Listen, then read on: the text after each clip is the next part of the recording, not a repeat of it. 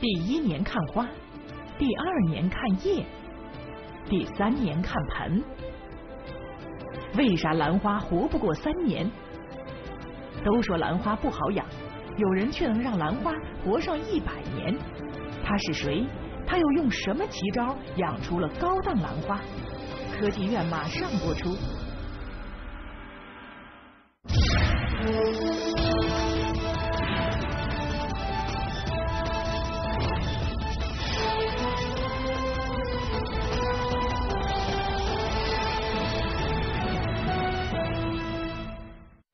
你好，欢迎收看科技院。今天想跟您说的这种花啊，它一旦上市就会创下天价。您看哈，现在画面上这一盆花，猜猜它大概值多少钱？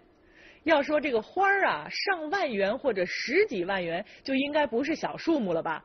可是告诉您，这盆花的价格是一千二百万元。那么到底它是什么花？怎么会这么贵呢？价值一千多万元的奇花，名字叫做素冠荷顶，是兰花的一种。说起兰花，大家都知道，就是叶子长得像韭菜的那种花。可就是这种花，前些年屡屡创出天价。除了素冠荷顶，还有玉海棠，卖价是十到五十万元一苗；桃园三结义，六十万元一苗。青海蝶八十万元一苗，大唐凤羽三百万元一苗，金沙树菊四百万元一苗。反正呢，每隔上一段时间，市场上总会冒出一种天价兰花来。花开的是越来越奇特，价格也高的越来越让人心跳。兰花也叫兰草，小小的那么一盆草，怎么就那么值钱呢？其中可能有商家的炒作因素，但更重要的是，天价兰花都是有着深厚文化底蕴的奇特品种，市场上独一无二，物以稀为贵，价格也就上去了。那么天价兰花是怎么来的呢？带着这个问题，记者来到了我国重要的兰花产地福建连城。饶春荣。是连城兰花的学科带头人，他靠养兰花成为我国十大著名花卉企业之一，也凭着多次种出新奇特的兰花，在全国闻名。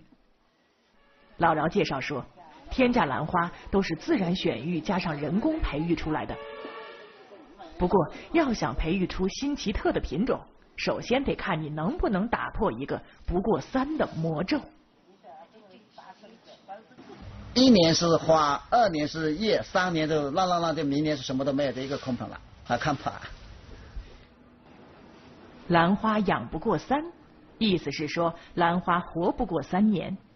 好好的一盆兰花搬回家，头一年看花，第二年看叶，到第三年就只能看盆了。兰花不好养。天价兰花是怎么来的呢？是从活了很长时间的兰花里选育出来的，起码得活三五年以上的兰花，才能够成为培育新奇特品种的母本。这也正是它们价格昂贵的一个原因。但是三年是个坎儿，有经验的人才能够养上两三年呢，没有经验的人甚至连三个月也养不活。那么这兰花为什么不好养呢？是不是太娇气了？专家可不这么认为。生命力是很强，它兰花跟人一样，很怕死的，不愿意死的。刘清勇长期担任中国兰花的主编，被誉为中国兰文化泰斗。饶春荣经常向他请教兰花的问题，刘清勇也用自己的亲身经历告诫饶春荣和那些喜欢兰花的人：兰花是好养活的。我有一次那个兰花放土啊，几十公分的一大堆丢在那里。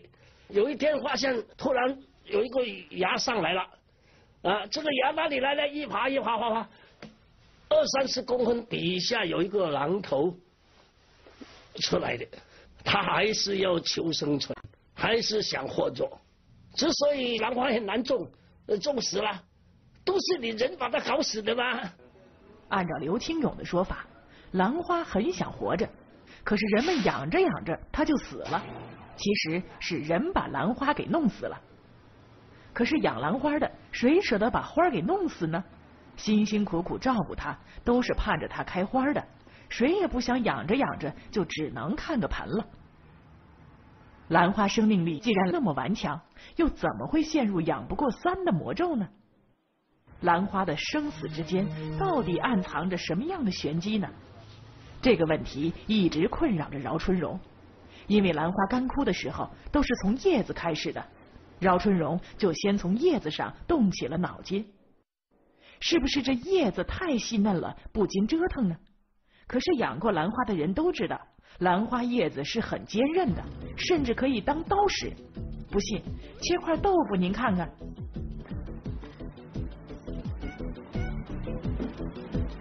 俗话说，刀切豆腐两面光。用兰花叶子切的豆腐，两面也都很光滑。兰花的叶子不只能切软的豆腐，还能够切硬的纸。随便一张白纸，对折之后，用兰花的叶子照样切的又快又整齐。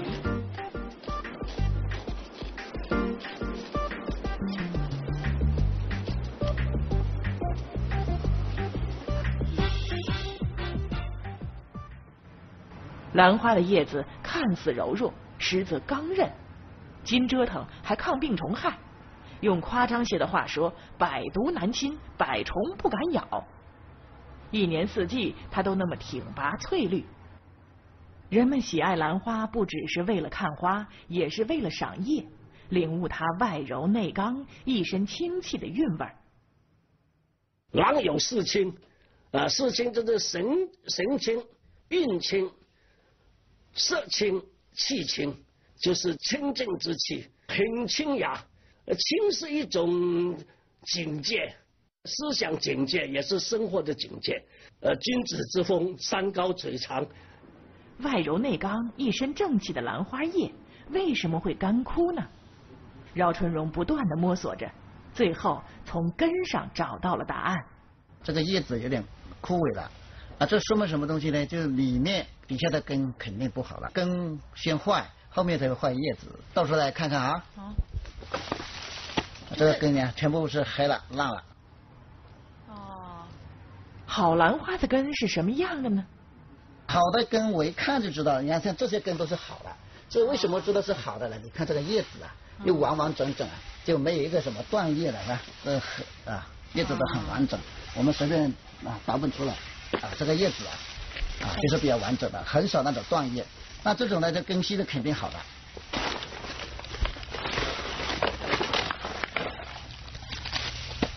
啊，全部都是根了，就成一团了。健康的兰花根比较粗壮结实，从外面到里面都是白色的。而坏的兰花根软塌塌的，颜色发暗，轻轻一扯，皮儿就掉了。表面看起来是兰花的叶子先干枯了，其实是根先坏了。叶子的营养由根供应，没了根，兰花就从底子里虚透了，如同灯油燃尽，灯也就灭了。兰花的根为什么容易坏？究竟怎样才能养好兰花呢？饶春荣试图从古人的研究成果中得到启示。历史上第一位研究兰花的是大思想家孔子。孔子早在两千四百多年前就评价说，兰花有王者之香。孔子他说过，兰当为王者之香，寸心原不大，但容得许多香，啊，很有这里意味。小小的一朵花里，竟然包含了那么多的香味儿。孔子由此把兰花提升到了文化与哲学的层次。兰生幽谷，不以无人而不芳；君子修道立德，不因穷困而改节。君当如兰。可是孔子只研究了兰花的气节与品质，却从未论述兰花寿命短暂的原因。第二位系统研究兰花的大家叫赵石庚。公元一二三三年，赵石庚发表了世界上第一部兰花专著《金章兰谱》。此后，历朝历代关于养兰的专著层出不穷，逐渐总结出了一套完整的养兰要领，叫做“春不出，夏不日，秋不干，冬不湿”。意思是说，兰花春天不能出棚，夏天不能直晒，秋天不能干燥，冬天不能多浇水。可是大多数专注都集中在如何养兰上，很少有人研究兰花寿命短暂的原因。大多数人也只能让兰花活上两三年。要是谁能够让兰花活得更长些，甚至能够培育出新奇特品种来，那就是兰花界的高人了。走到哪儿都会受到养兰人的追捧。兰花只能活两三年，似乎成为一个铁律。而培育新品种却需要活过四五年的兰花做母本，这也就是过去很难出现兰花新品种，有了新品种容易被炒成天价的原因。饶春荣从古人的研究中得出一个结论：按照传统的栽培方式，永远走不出养不过三的怪圈，必须找出主宰兰花生命密码的源头，改变栽培方式。他想。既然兰花死是根先死，何不把目光盯在根上呢？这个思路的转变，让他很快找到了根部隐藏的秘密。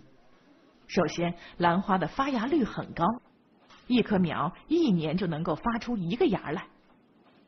它这个兰花会一这个一苗会变两苗，两苗变四苗，四苗会变八苗，八变十六，十六变三十二，啊，这样子。兰花多活一年就能够长出一倍的新苗，活得越长，兰花越多，就越容易出奇花，因为兰花善变。植物学家呃观察这近几百年的兰花兰科植物生长的状况，发现兰科植物这几百年来是所有各科植物中突变变异最多的一种植物。神鬼莫测，变化无穷。兰花善变，专业术语叫做走。兰花有三走：走花、走色、走形。比方说，这种绿绿的叶子里，竟然走进了花瓣的颜色。看叶也如同看花，原本尖尖的竹子叶形的花瓣，竟然走成了荷花形的花瓣。赏兰花又如同赏了荷花。这些就都是奇花了，一旦上市就会创下天价。素冠鹤顶等奇花就是这么来的。让兰花多活几年，会有意想不到的收获。养兰花的人都知道这个理儿，也都在想方设法的探索着。可真正探索出个名堂来的人并不多。饶春荣是比较幸运的一个，因为他有两个重大发现。兰花难养，奇花难求。可饶春荣不仅打破千年魔咒，还培育出了天价兰花。他究竟发现了什么？科技院继续为您讲述。饶春荣的第一个发现就在兰花的根上。他注意到，只要兰花的根由白变黑了，就活不长了。烂根开始就会影响这个叶面的美观，它叶慢慢慢慢就一直枯萎。一直枯枯枯枯，这个长势就很不行了。历史上，人们更关心的是兰花的欣赏，注意力都在花和叶上，很少有人去关注兰花的根。饶春荣就觉得兰花的根里有学问，他开始一门心思的研究起了兰花的根。一次倒盆的时候，他发现有一盆兰花里，其中的一株苗的根已经烂了一多半了。照理说，根坏了，叶子应该变黄了。可是叶子仍旧是碧绿碧绿的，这说明肯定有别的根给它提供营养。饶春荣索性把它切开了，这一下找到了答案：兰花的芦头之间有一根脐带连着。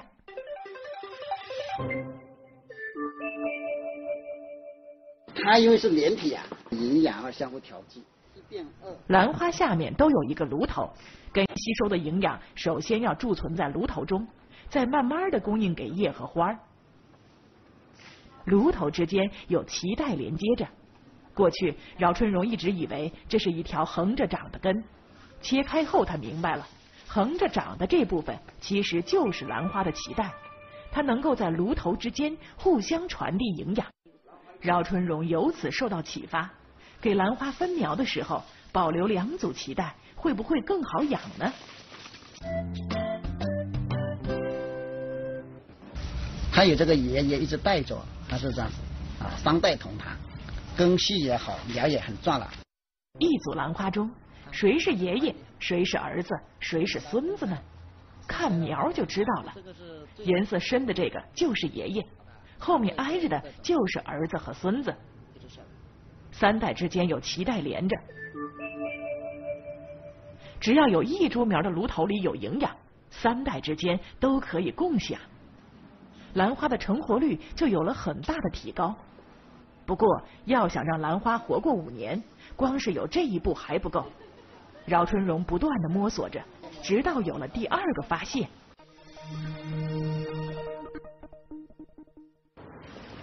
二零零零年，饶春荣的公司要搬家了，在一个墙角旮旯里，他注意到一盆无人照料的兰花，起码活了十几年了。无人照料的兰花居然能够活这么久，还能活得这么好，而自己辛辛苦苦照顾着的兰花却活不长。难道说兰花不喜欢过富足的日子，而喜欢过清贫的日子吗？这个问题一冒出来，把饶春荣自己也吓了一跳。因为千百年来，人们对于兰花无不是娇生惯养，捧在手里怕热着，养在盆里怕冻着。专选细土，专选精肥，喷淋浴助温室，细致的不能再细致了。饶春荣暗自思量着，这样做会不会不对呢？他仿照那盆老兰花的环境，开始了放养兰花的试验。原来以细土为主的机制被新配方的机制代替。新的机制是由浸泡发酵的树皮、花生壳与沙石等组成的。兰花爷爷、儿子、孙子三代同时入盆，机制放好后，把盆上下蹲结实了，浇透一次水，少则十天，多则半个月，不管它。饶春荣要把好花穷着养，又是石子儿，又是树皮的。没有营养也存不住水，这些幼嫩的兰花可怎么活呢？别着急，看那花骨朵上这些水珠没？仔细看。饶春荣观察那盆老兰花的时候，也曾经发现过水珠。都是根了。开始的时候他没往心里去，可日子久了就觉得不对劲儿了。没浇过水，哪来的水珠呢？后来他想明白了，这可不是单纯的水珠啊，也就是有点水分而已，吸收点空气就就能活了。它这个相互会调剂这个养分，它主要是空中这个起蛋。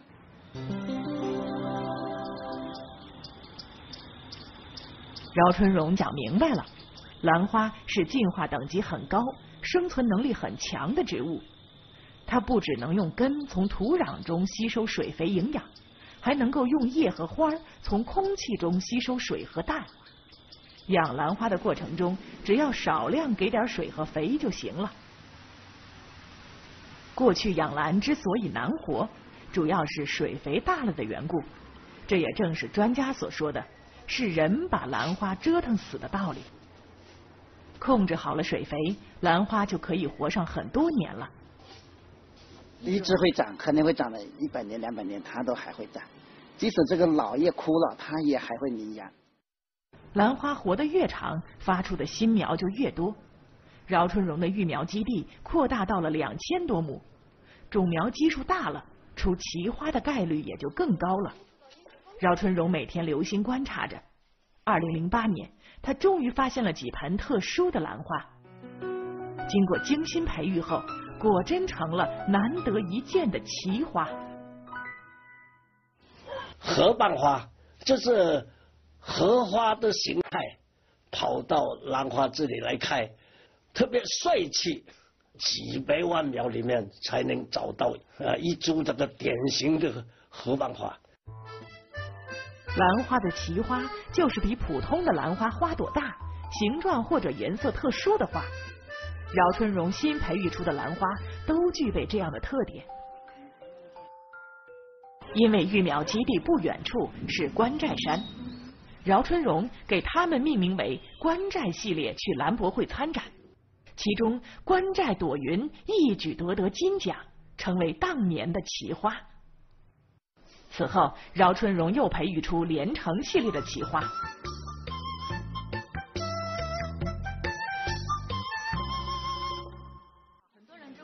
正当人们私下议论着老饶会以几百万元疫苗来出售他的一系列奇花时，饶春荣却给出了俩字儿：不卖。这让兰花界大跌眼镜。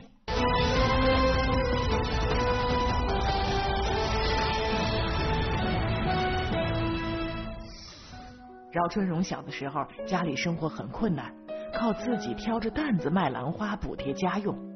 一家人才过上了好日子，千辛万苦，好不容易养出了高价兰花，随便卖几盆就可以赚大钱了。他为什么又不卖了呢？因为连城市委想在兰花上大做文章。在我们整个连城的这个农业产业结构的调整方面，呃，我们今后把兰花啊作为一个呃重要的一个支柱来啊进行培育，来推动我们整个农业结构的调整。连城人喜欢养兰花，很多人也靠养兰花来增加收入。饶春荣培育出了大量高品质兰花的事儿传到市里，市里很快做出决定，扶持兰花产业，以龙头企业带动农户，加快产业化发展。听到消息的饶春荣兴奋不已，他早就知道，近几年韩国、日本及东南亚一些国家也越来越重视兰花的研究和利用。饶春荣心里早就憋了一口气。兰花是原产于我国的名贵花卉，我国的兰花产业最有条件走在世界前列。他把自己培育出的高档兰花全部留了下来，用于繁育和应用研究，让我国的高档兰花向产业化发展，走在世界前列。这是饶春荣的梦想，更是上百万养兰人的梦想。有了高档的品种，再加上科技的注入，我国兰花产业的发展必将迎来又一个高峰。好，如果你想获得今天节目的相关资料，移动用户可以编辑短信 A B C 发送到幺零六六三三五五六索取手机报。你也可以关注我们的官方网站农事网以及农事网和科技院栏目的官方微博、微信和移动客户端，去了解更多节目信息。我也会与您互动交流。今天的节目就到这儿了。